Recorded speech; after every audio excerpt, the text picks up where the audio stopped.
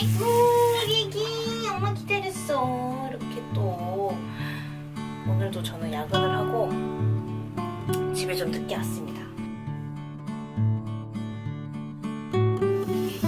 마일로.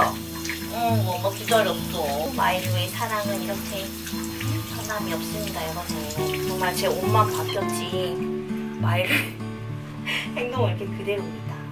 엄마 기다렸어 우리 애기가 응? 마일로 밖에 지금 비가 와요 어제 오늘 너무 더웠는데 비가 와서 시원해지긴 했는데 저는 이렇게 비가 오거나 눈이 오면은 사실 좀 약간 우리 길냥이들이 또 밖에서 얼마나 고생할까 그래서 여러분 제가 오늘 어, 우리 길냥이나 유기 동물들을 위해서 좋은 일을 할 수 있는 방법을 제가 갖고 왔습니다 그것은 바로 짠! 제 반지 보이시나요?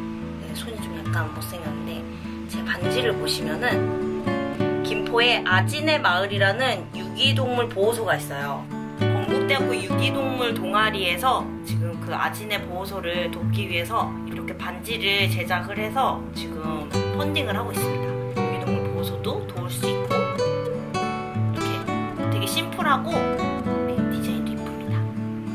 여러분 많이 도와주세요. 아, 그랬어 말로. 샤넬. 샤넬.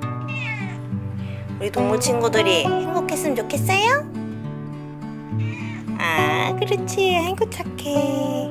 우리 샤넬도 같이 동참해. 알았지? 아이고, 이쁘다, 우리 애기.